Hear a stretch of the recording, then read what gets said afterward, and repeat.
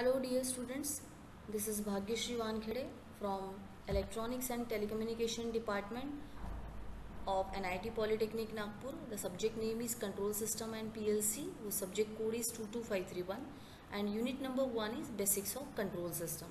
In this particular topic we are going to study the linear and non-linear control system. So we'll see one by one now what are the course outcome for these particular subject? So these are the course outcome that are identify different types of control system determine the stability of control system test the performance of various types of controller maintain various components of PLC based process control system and maintain PLC based process control system.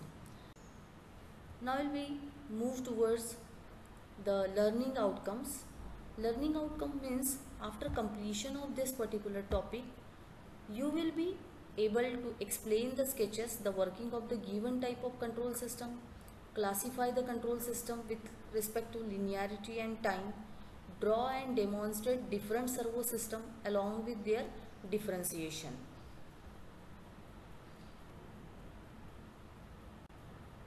So now we will see what is the difference between open loop and closed loop system which we already covered in the previous lecture. So these are the main differences between open loop and closed loop. So open loop control system and closed loop control system. So these are the main points of open loop control system and these are the main points of closed loop control system so one by one we will see that in open loop control system it is very simple and economical but closed loop control systems are very complex and costlier. Open loop control system less consumes less power and closed loop control system consumes more power.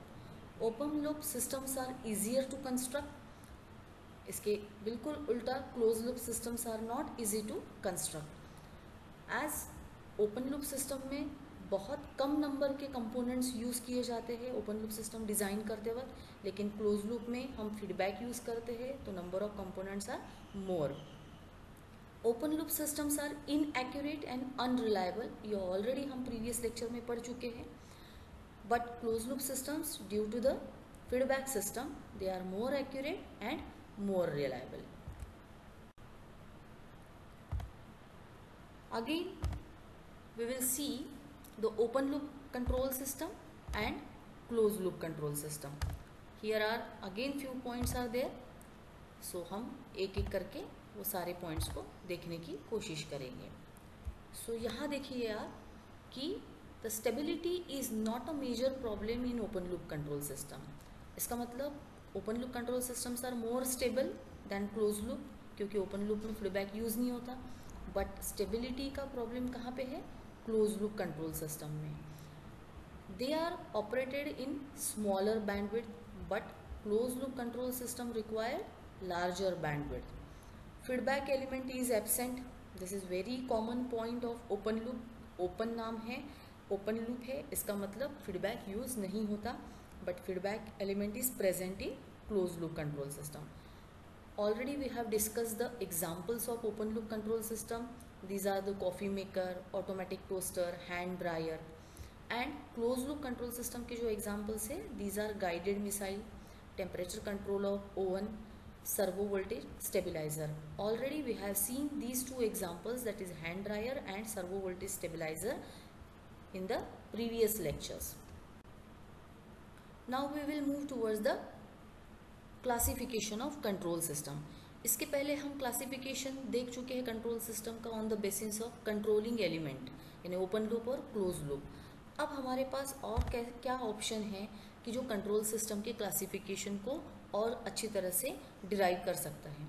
So again there are two types of control system one is linear control system and another one is non linear control system अब linear ये नाम से आपको पता चल ही गया है। Linear यानी in a straight manner or non-linear yani it is not in a straight manner. So one by one we will try to understand the concept of linear control system and non-linear control system. Now the linear control system we will try to understand the definition of linear. The system which follows the principle of superposition which satisfy the following two properties. First one is additive property and second one is homogeneous property. Additive property का मतलब क्या हुआ? Three plus five करने के बाद भी result eight ही आता है और एट फाइव प्लस थ्री करने के बाद भी रिज़ल्ट एट ही आता है. So this function can be divided into two particular variables so that the result will get the same so इस प्रॉपर्टी को कहा जाता है additive property next is the homogeneous property from this example you will clearly get the idea, function of alpha into x can be written as alpha into function of x.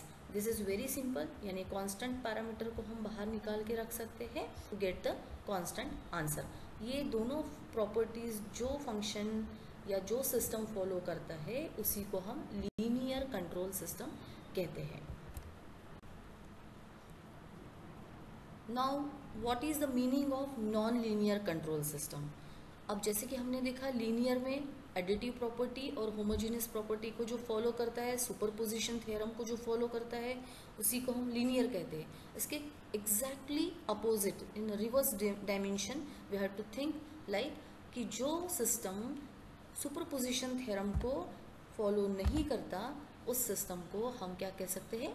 Non linear control system so हम यहाँ पे देखेंगे कि the system which does not follow the principle of superposition and the stability of nonlinear system depends on the root location as well as initial conditions and type of input.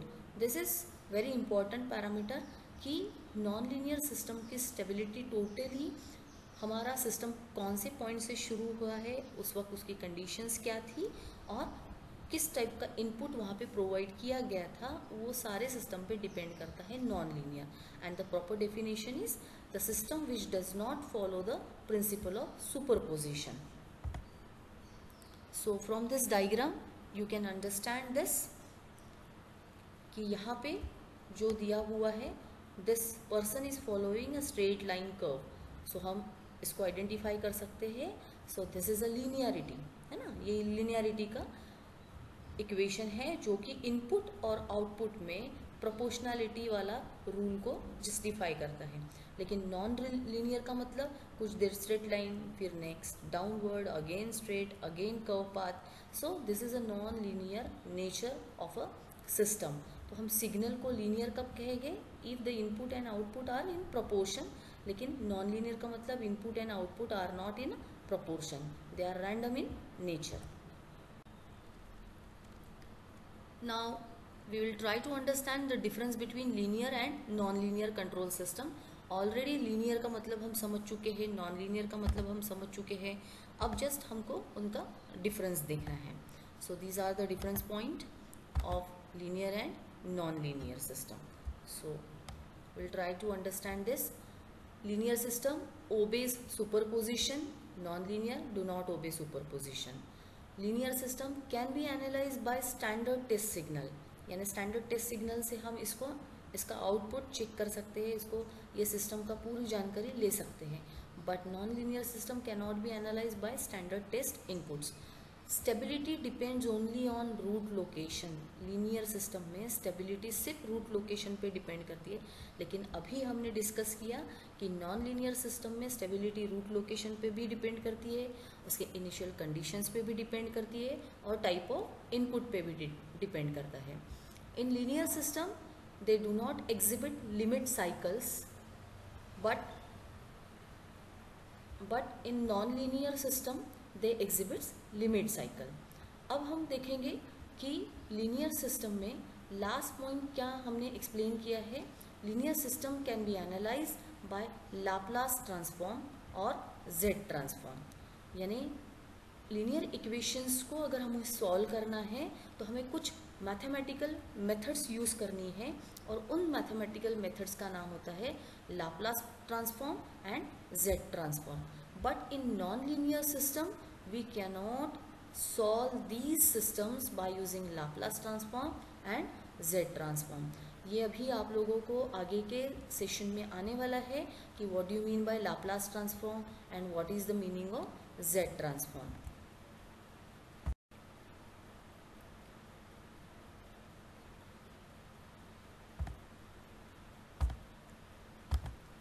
next are the classification of control system अब हमने दो तरीके के classification देख लिए हैं। One is based on controlling action that is open loop और close loop second is based on linearity and non-linearity. Now the third classification of control system is based on time whether that system is time variant यानी उसके कुछ parameters time के साथ change होते हैं या नहीं and next type is time invariant यानी ऐसा सिस्टम जिसमें पैरामीटर्स टाइम के साथ चेंज नहीं होते so one by one will try to understand these two systems so time variant and time invariant control system. So first we will try to understand this time variant control system. Control system in which the parameters of the system are varying with time. ये बहुत important parameter है ये complete line is very important that ऐसा system जिसमें parameters time के साथ में very होते हैं अब आप एग्जांपल देखिए कि रॉकेट और space vehicle whose mass decreases with time due to consumption of fuel जब रॉकेट या स्पेस व्हीकल अर्थ पे होता है तो उसमें फ्यूल सबसे ज़्यादा होता है तो उसका वेट उस वक्त बहुत ज़्यादा होता है। लेकिन जैसे जैसे वो ऑर्बिट क्रॉस करते जाता है अर्थ की और आगे बढ़ते जाता है फ्यूल कंजम्पशन होते जाता है। जैसे जैसे फ्यूल ख़त्म हो जाएगा उसका मास या उसका वेट डिक्रीज होते जाता है। सो so, इसका मतलब mass is time variant property. कि उसका मास रिड्यूस हो रहा है विथ रिस्पेक्ट टू टाइम जितना ज़्यादा टाइम होगा, उतना उसका मास रिड्यूस होते जाएगा. So such kind of control systems are called as time variant control system next these are the time variant now the time invariant control system अब time invariant control system के लिए हमें example भी देखना पड़ेगा कि पहले डेफिनेशन देखते हैं time invariant control system control system in which the parameters do not vary with time. Exactly opposite to the time variant. ऐसा कुछ सिस्टम जिसके पैरामीटर्स बिल्कुल भी टाइम से रिलेट नहीं करते। जैसे आप, आपको पता है कि आपके पास में एक मोबाइल है। आप उसको चार दिन यूज़ करो या दस दिन यूज़ करो, उसका वेट जितना है उतना ही रहेगा। वो कोई पैरामीटर्स पे डिपेंड नहीं करता है। या आपके घर पे जितने भी सामान हैं, है ना?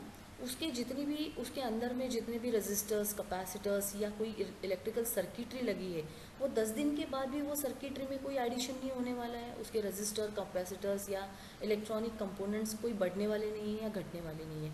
यानी टाइम कितना भी कंज्यूम हो जाए, उसके पैरामीटर्स में कोई असर नहीं होता। So will try to understand with this example electrical circuit consist of resistor capacitor or inductor. But their values does not change with respect to time, so they are not a function of time. है ना? यानी आज अगर register की value five ohm है और कल जाके रजिस्टर की वैल्यू सेवन ओहम हो जाए, ऐसा होता ही नहीं है। जो रजिस्टर हमने फाइव ओहम करके लगाया है, उसका वैल्यू कल भी फाइव ओहम रहेगा, परसों भी फाइव ओहम करके ही वो देगा। That's why electrical circuits are the example of time invariant control system Now, the next topic is servo system. What do you mean by servo system? अब हम इसको थोड़ा सा अंडरस्टैंड करने की कोशिश करते हैं with the definition servo system is defined as automatic feedback control system working on error signals giving the output as a mechanical position velocity और एक्सेलरेशन अब एक ऐसा सिस्टम जिसमें ऑटोमेटिक फीडबैक जनरेट होता है, यानी आउटपुट का कुछ पार्ट ऑटोमेटिकली इनपुट को वापस दिया जाता है टू चेक द एरर और ये जो एरर होती है जनरेट वो हमें कैसे पता चलेगी कि एरर जनरेट हुई है? तो हमें कुछ ना कुछ तो इंडिकेशन होना चाहिए। तो वो इंडिकेशन किया जाता है मैकेनिकल पोजिशनिंग यानी लोड जो होता है। लोड का मतलब है जो लास्ट में हम आउटपुट यूज़ कर रहे हैं जिस पे, जैसे हमारा फ़ैन है बल्ब है बॉटल्स को सील करने के लिए कुछ सर कन्वेयर बेल्ट्स यूज़ कर रहे हैं। तो मैकेनिकल पोजीशन यानी उसका पोजीशन अगर चेंज हो जाता है तो हमें इंडिकेट होगा कि यहाँ पे एरर आई हुई है। कभी किसी चीज़ की अचानक वेलोसिटी बढ़ जाती है या एक्सेलरेशन बढ़ जाता है तो हमें इंडिकेट होगा कि this is just because of the error signal तो servo system is a automatic feedback control system which gives an error signal giving the output in the form of mechanical position, velocity or acceleration. Servo system is one type of feedback control system in which control variable is the mechanical load position and its time derivatives like velocity and acceleration. So this is the servo system.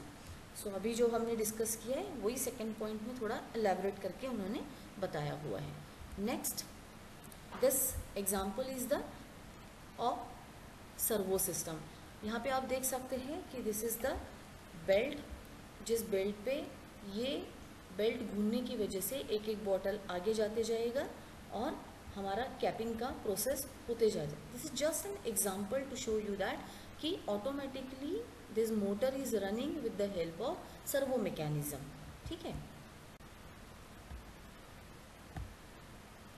Now will try to understand the block diagram of servo system block diagram is very simple आप देख सकते हैं block diagram में कि there are number of blocks first block is error detector next one is servo amplifier next is servo motor and the lastly load load का मतलब होता है, हम, हमें जो चीज़ों पे ऑपरेशन करना है, हमारे घर में जैसे fan acting as a load bulb acting as a load tube light acting as a load television acting as a load यानी जहाँ, जिस चीज़ को हमको रन करना है या जिस चीज़ को हमको एप्लीकेशन में लाना है that is nothing but the load तो यहाँ पे हम इनपुट सिग्नल देंगे और ये इनपुट सिग्नल इस एरर डिटेक्टर में जाएगा। Error detector is nothing but kind of operational amplifiers जिसको हम यूज़ कर सकते हैं एज अ एरर डिटेक्टर उसका जो आउटपुट है वो बहुत ही छोटा होता है। That signal is very small and that is given to the servo amplifier for the amplification purpose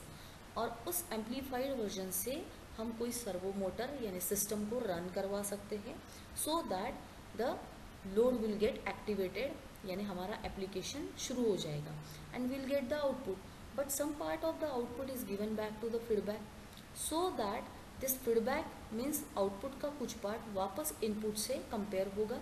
और ये कंपैरिजन वाला पार्ट इस सर्वो एम्पलीफायर से फिर से एम्पलीफाई होते जाएगा। और जो भी कुछ एरर्स है, उसको रिमूव करने के लिए सर्वो मोटर को कुछ इंडिकेशंस दिए जाएँगे। So that the output will get satisfied and we will be with the desired out now this is about the difference between AC servo and DC servo system अब हम समझने की कोशिश करेंगे कि एसी सर्वो सिस्टम और DC servo system का difference क्या है। एसी सर्वो सिस्टम और डीसी सर्वो सिस्टम में आप नोट कर सकते हैं कि एसी की एफिशिएंसी बहुत लो होती है, लेकिन डीसी की एफिशिएंसी इज़ वेरी हाई वही लो पावर आउटपुट है एसी में तो हाई पावर आउटपुट है डीसी में. It requires less maintenance but it requires frequent maintenance क्योंकि फीडबैक यूज़ कर रहे हैं हम लोग. यहाँ पे लेस स्टेबिलिटी प्रॉब्लम है और यहाँ पे मोर स्टेबिलिटी प्रॉब्लम है. एसी सर्वो में operation is very smooth but DC में नॉइजी ऑपरेशन है. यानी errors are more AC servo system, it has non-linear characteristics, but DC servo system, it has linear characteristics. तो ये exam point of view भी बहुत important the difference in the AC and DC now this is the block diagram of DC servo system जैसे कि हमने अभी block diagram देखा था, एक एरर डिटेक्टर होता है, एक एम्पलीफायर होता है, एक मोटर होती है और एक लोड होता है। तो यहाँ पे सिमिलर पैटर्न में यहाँ पे भी सेम ब्लॉक डायग्राम है. This is the DC amplifier this is given to the DC motor and this output of motor is supply to the load load से जो आउटपुट निकल रहा है this is again given to the potentiometer जो कि हमारा error detector के तौर पे काम करेगा और हमको एरर वापस देख के हम यहाँ पे उस एरर को एम्पलीफाई कर सकते हैं. Will try to understand principle so working of DC servo system DC servo system consist of potentiometer as an error detector अभी हमने डिस्कस किया DC amplifier DC motor DC gear system and DC load whose position is to be changed. In DC servo system, potentiometer has two inputs. One is reference input and another is actual load position. यानी एक तो reference है जिसको standard माना जाता है और एक लोड पोजीशन अगर चेंज हो रही है इधर उधर तो उसका जो भी आया हुआ है output that is potentiometer finds the error between two position अब पोटेंशियोमीटर का काम क्या है? That is acting as a error detector तो वो दोनों पोजिशन का एरर फाइंड आउट करेगा लोकेशन को चेंज करेगा and this error is given to the DC amplifier so that उस एरर को हम एम्पलीफाई कर सके because that error is very small and we cannot watch और उसको देख नहीं सकते, उसको टेस्ट नहीं कर सकते, इसलिए उसको एम्पलीफाई करना ज़रूरी होता है। Output of this amplifier is given to DC motor and finally DC motor changes the position of DC load इस तरीके से हमें कितने पोजीशन पे डीसी लोड को चेंज करना है, इस सिस्टम के माध्यम से हम कर सकते हो। अब तक हमने जो जो पढ़ा है, वो हम एक बार समराइज कर लेंगे। We have seen the difference between open loop and close loop control system We also understood the linear and nonlinear control system with example. We can differentiate the time variant and time invariant control system. We understood the concept of servo system and can draw the block diagram. So thank you so much students for listening patiently this complete topic of linear and nonlinear control system and next topic we will continue with the Laplace transform. Thank you so much.